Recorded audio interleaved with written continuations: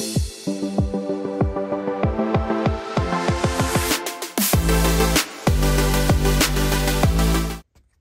guys, you know who it is. It's your boy Alex KO Tech.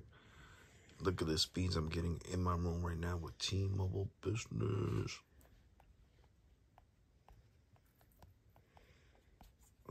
Ooklas hating. So let me give it the five stars. One the one on camera, 15 ping. So T-Mobile fixed whatever tower they had down or whatever they were upgrading. Because I'm getting great speeds again in my room. Look at these uploads. They're great. I never got these type of uploads before in my room. We got a 15 ping and 4 jitter, 583 over 123. So definitely can can get T-Mobile 5G home internet in this area. With these type of speeds, then we're to check out the fast.com speeds.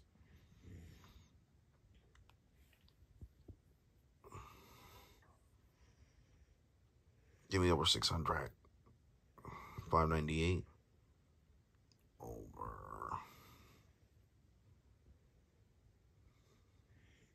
one oh seven.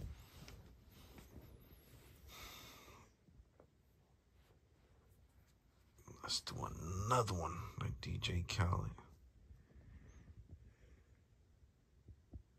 I paused the movie because I didn't want no problems with AdSense because the movie was playing music.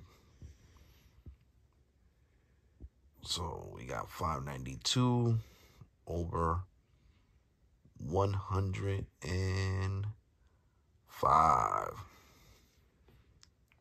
Great speeds from T-Mobile N41. Now we're going to do another one. This time we got a 14 ping, 2 jitter. Let's see if I can get 600. But I'm good in the 500s. These speeds are amazing. 555 over. Let's see.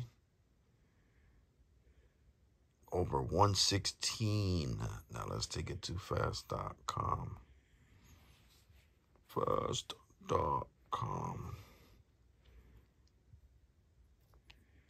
Oh, yeah, look at these speeds. Speeds in the 500s. Amazing speeds, 590. Let's do one more. Wow. Went to over a gig. That's crazy. 650 or more.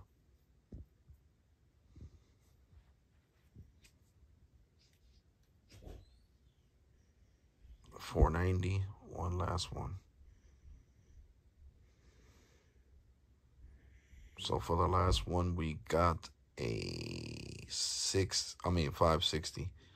So yeah, guys, like, comment. Matter of fact, I want to see if I can get 600 on the, on the, on, on one last speed test. 17 ping, 7 jitter.